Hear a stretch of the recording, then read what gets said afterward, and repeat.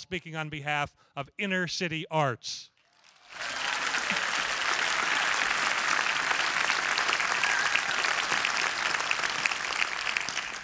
The mission of Inner City Arts is to use arts education to transform the lives of the least privileged among us, the children of inner city Los Angeles, giving them the courage to believe that their circumstances do not define who they are or their place in the world. Good evening. My name is Sharyn Church, and I'm Deputy Director of Inner City Arts. In 1989, Bob Bates was a working artist with the Loft Studio near Skid Row. Following a chance encounter with a real estate developer, Inner City Arts was born in the shell of an old auto body repair shop near downtown Los Angeles. More than two decades later, Bob and 20 other artists provide free visual and performing arts programs to 11,000 inner city students grades K through 12 each year.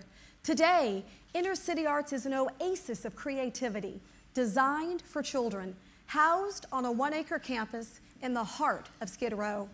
Our arts program is the only one in the nation where a school district regularly buses students with their teachers off site during the school day. Our programs are taught by professional artists like those found at the finest art colleges.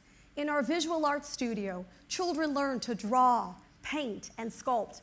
Our ceramic studio has a large kiln yard. In our dance and music studios, inhibited and active children express themselves through movement and music. Our black box theater provides students backstage and performance skills. And in our DreamWorks Animation Academy, middle and high school students learn sequential thinking and the collaborative nature of studio culture. Inner City Arts has successfully used the arts as a tool to keep all kids, not just the talented few, engaged and in school. Serving a population where only 25% graduate from high school, 96% of the teens who attend inner city arts go on to higher education.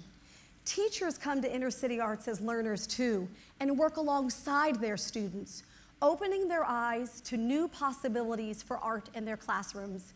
In separate professional development programs, we've trained more than 3,000 teachers, and these teachers have influenced thousands of students. Our campus has the capacity to serve 20,000 students a year, nearly twice the number we serve today. Our goal is to reach full capacity by 2017. We request $500,000 in support of phase one capacity to serve an additional 1,300 students and 150 classroom teachers on behalf of the 200,000 students who have already experienced inner city arts and those to come. Thank you.